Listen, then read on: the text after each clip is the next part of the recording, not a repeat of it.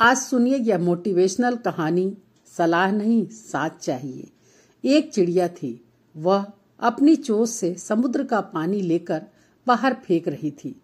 दूर बैठी एक दूसरी चिड़िया उसे ऐसा करते देखकर उसके पास गई और बोली, तुम ऐसा क्यों कर रही हो?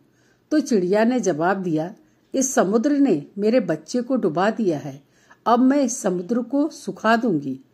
चिड़िया थोड़ा मुस्कुराई और बोली, तुम पूरे जीवन ऐसा करती रहोगी तो भी तुम समुद्र को सिखा नहीं पाओगी। तब चिड़िया ने कहा, मुझे तुम्हारे सलाह की ज़रूरत नहीं, देना है तो साथ दो। चिड़िया उसका साथ देने लगी। इस तरह दोनों चिड़िया चोंच से पानी लेकर बाहर फेंकने लगी। फिर तीसरी चिड़िया ने देखा तो उसने भी पूछा कि तुम दोनों ऐसा क्यों कर रही हो? तो दोनों चिड़िया ने बोला देना है तो साथ दो, सलाह की ज़रूरत नहीं। इस तरह से कई चिड़िया एक साथ आई और उस चिड़िया के साथ जुड़ती चली गईं। सब अपनी चोच से पानी भरकर बाहर फेंक रही थी। ऐसा देखकर गरुड़ देव भी आश्चर्यचकित हो गए।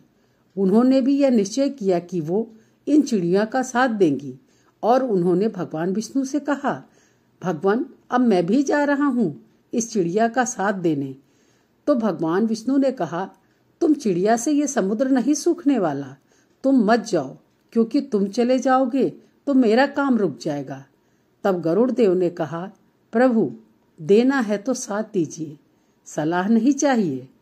भगवान विष्णु इस पर गरुड़ देव का साथ देने के लिए नीचे आए और उन्होंने समुद्र देवता से बोला कि आप इस चिड़िया के बच्चे को लौटा दें। नहीं तो यह समुद्र मैं सुखा दूँगा। समुद्र देवता डर गए। उन्होंने चिड़िया के बच्चे को वापस कर दिया। दोस्तों, इसी तरह जीवन में भी हमें किसी के सलाह की ज़रूरत नहीं पड़ती। साथ देने से हर काम सफल हो सकता है और संभव हो सकता है। इसलिए जीवन में किसी को कोरी सलाह न दें, बल्कि उसका साथ दें, उसके आगे बढ़ने में उसकी मदद करें। कहानी कैसी लगी?